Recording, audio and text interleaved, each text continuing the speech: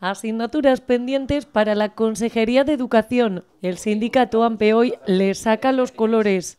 Políticas de educación sí, educación en la política no.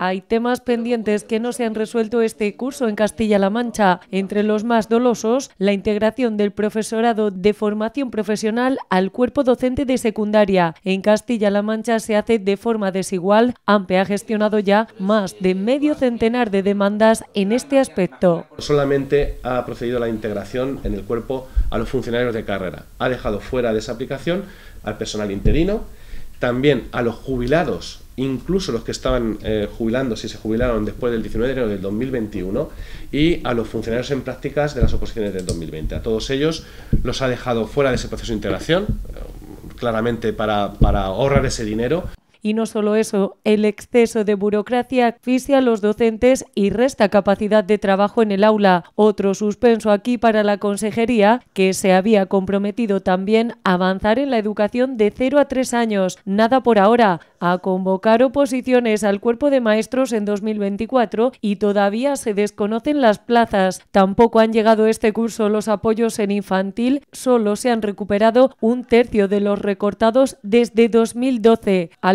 con necesidades especiales totalmente abandonado sin refuerzo del profesorado y continúan con las adjudicaciones a ciegas.